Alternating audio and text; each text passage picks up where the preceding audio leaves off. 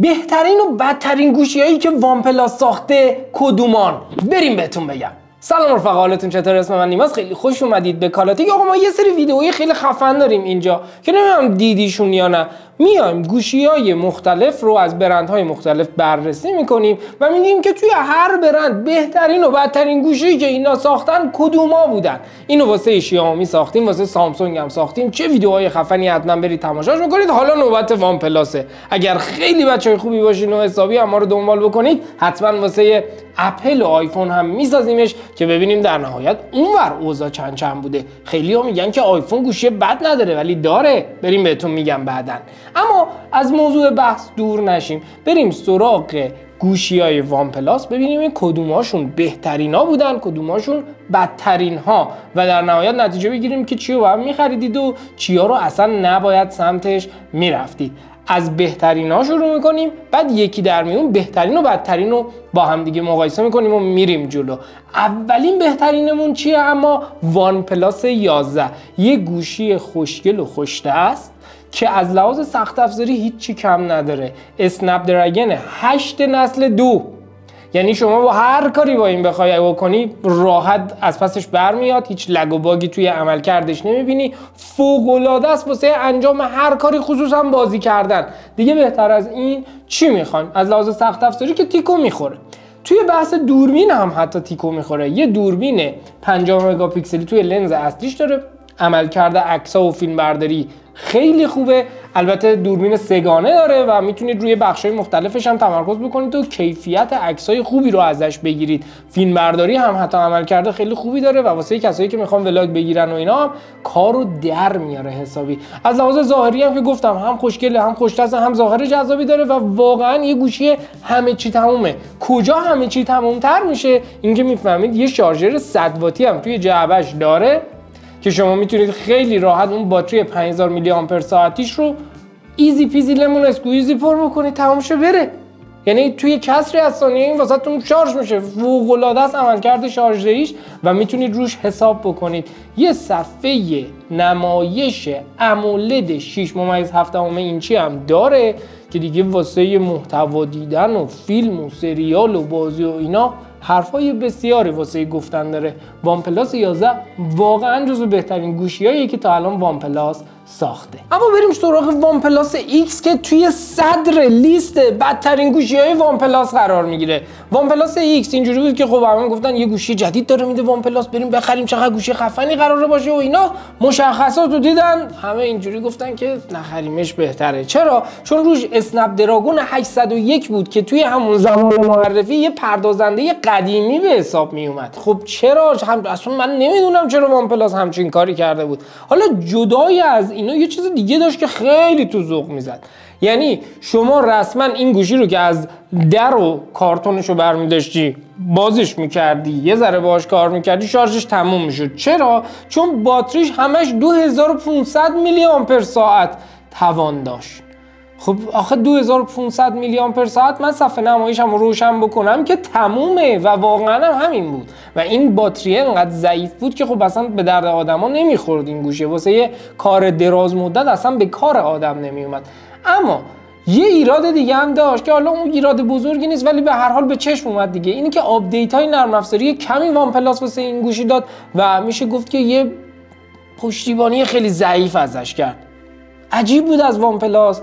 ولی این اتفاق واسه OnePlus X افتاد. برگردیم سراغ لیست خوبامون. جایی که OnePlus 10 Pro وایساده. میشه گفت که version قبلی همون OnePlus 11 ولی به همون اندازه گوشی خوبی بود توی زمان عرضش. شما یک گوشی داشتید که سخت افزار حرف واسه گفتن بسیار دارد. آقا Snapdragon 8 نسل یک روش بود که همین الان هم می‌تونم بگم که پردازنده با کیفیتیه و روی هر گوشی باشه واسه چند سال راحت می‌تونه عملکرد خیلی خوب خوبی داشته باشه و طول عمر گوشیتون رو واسه استفاده افزایش میده.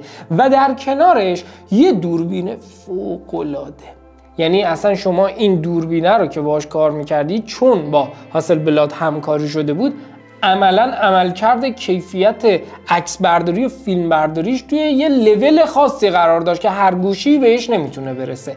در کنار اینا بازم یه صفحه نمایش امولد 6 ممیز 7 اینچی داشتیم که نکته جذابش این بود که 120 هرتزی بود. دقیقا مثل وان پلاس 11 و واقعا می‌تونم بگم موقعی که شما این گوشی رو دستتون می‌گرفتید و باش کار می‌کردید حسابی حالتون خوب بود. اینم بگم که اینم یک شارژر 80 واتی داشت که شما می‌تونستید این باتری 5000 میلی آمپر ساعتیش رو با یه سرعت خیلی خوبی شارژ بکنید.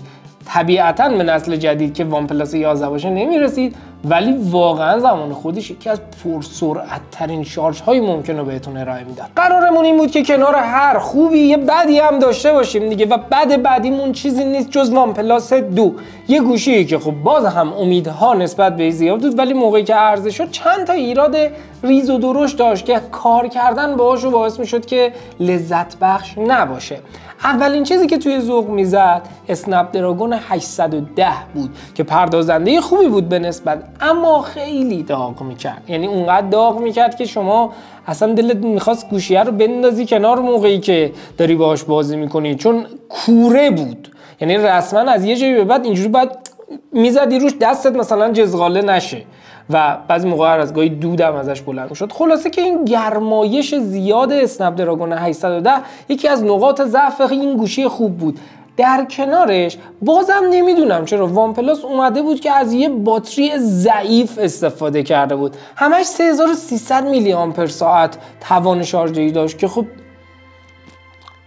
میگم باز تا گوشی رو روشن کنی شارژش تمومه دیگه. فایده آنچنانی نداشت و متناسب با این پردازنده و مصرفش نبود و خب به دردمون نمی‌خورد. اون وسط اکسیژن او هم هنوز اون بلوغ خودش رو پیدا نکرده بود و در نهایت پر از لگ و باگای عجیب و غریب بود که نمی‌شد از تجربه کاربریش لذت برد. خلاصه که وان پلاس دو هم جزو پروژه های آزمایشی بود که در نیامد دیگه نوبتی هم باشه نوبت آخرین خوب این لیستمونه. OnePlus 9 Pro که قشنگ داره اینو بهمون نشون میده که توی سه سال رسما OnePlus سه تا گوشی خوب زده. یعنی OnePlus 9 و 10 و 11 دیگه واقعا اصلا حرفی واسه گفتن میمونه که بفهمید این مجموعه چقدر خوب پیشرفت کرده نسبت به گذشته ای که داریم می‌بینیم. یعنی هرچی بده گوشی های قدیمیه هرچی خوب گوشی های جدیده و این خیلی واسه من به شخصه جذابه.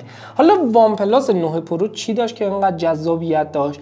اولیش خوب همون پردازنده است. Snapdragon 888 که یکی از بهترین پردازنده های چند سال پیش بود. یعنی قبل از اینکه این Snapdragon 8 با نسل های مختلفش بیاد واقعا جزو اون پردازنده هایی بود که روی هر گوشی میذاشتنش کارکرد خیلی عالی ارائه می‌داد و هیچ وقت نه lag و باگ آنچنانی توش بود نه داغ می‌کرد اونقدر و حتی توان مصرفیش هم خیلی پایین بود. یعنی اون موقعی که شما مثلا می‌خواستید کار بکنید باهاش اونقدرها از باتریتون استفاده خاصی نمی‌شد مصرف بهینه ای داشت. و واقعا می‌تونم بگم که جزو پردازنده های خوب بود.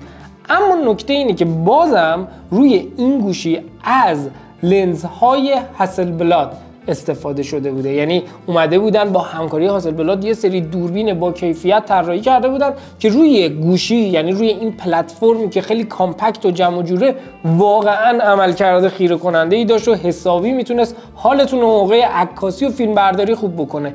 از اون طرف صفحه نمایش هم باز هم 120 هرتزی باز هم 6 7 اینچی و توی رزولوشن QHD پلاس که رسما روی اونای دیگه هم هست. و خیلی واقعا یه گوشه تر و تمیز جمع و جور خوشته است با کیفیت با متریال ساخته فوق العاده و رسما شما یه گوشه همه چی تموم داشتی دیگه. این وسط شما دوباره شارژر سریع هم داشتی ولی نه اونقدر سریع یعنی به اندازه رقیباش اون سال خوب بوده ولی نه به اندازه این مدل های جدید 65 واتی بود. و میشه گفت که عملکرد خوبی داشت. پس دیگه واقعا داریم به این نتیجه می‌رسیم که وان پلاس هر روز داره بهتر میشه و هر از گاهی باید حواستون به گوشیایی که تولید می‌کنه باش اما آخرین گوشی بعدمون باز داره ثابت می‌کنه که گوشی های قدیمی وان پلاس شاید اون کیفیت لازم رو نداشتن و چقدر این شرکت به همون چیزی که گفتم باز برمیگردم که پیشرفت کرده به مرور زمان. وان پلاس 5 خب گوشی بود که روی کاغذ باز خوب به نظر می‌رسید همه چیزش. ولی موقعی که کار می‌کنی با اینا متوجه داستاناشون میشی دیگه. اولین چیزی که خب خیلی تو مخ بود دوربینش بود. یعنی موقعی که شما دوربین رو نگاه می‌کردی با اینکه مثلا مشخصاتش خوب بود تصاویر و فیلم ها رو میبردی مثلا توی مانیتور نگاه می‌کردی چنگی به دل نمی‌زد. یعنی اصلا بدت میومد از یه جایی به بعد که با این عکاسی و فیلم برداری بکنی. دلنشین نبود صادقانه.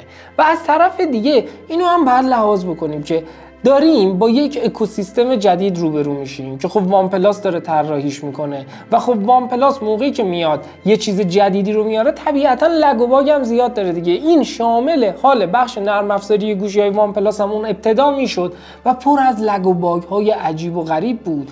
پر از داستان های مختلف و از طرفی یه مشکل دیگه هم داشتن. این آپدیت های نرم افزاری که اون اول می‌دادن به جای اینکه وضعیت گوشی رو بهتر بکنن و مصرف و انرژی و همه این چیزاشو بهینه تر بکنن شرایط بدتر می‌کردن کلی lag و باگ و داستان و اینجور چیزا اضافه می‌کردن. و همین مسائل باعث می‌شد که آدمایی که رفتن سراغ این گوشی همون اول یه حس بدی بهش پیدا کنن دلچرکین بشن و شاید خیلی زودم عوضش بکنن.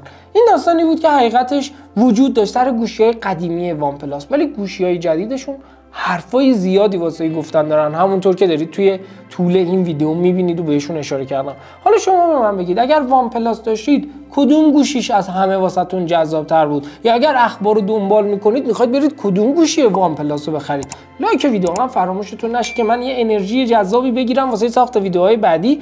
اگر میخوایدم آیفون رو بسازیم حتما توی کامنت ها واسمون بنویسید. خیلی مخلصیم. فعلا. خدافظ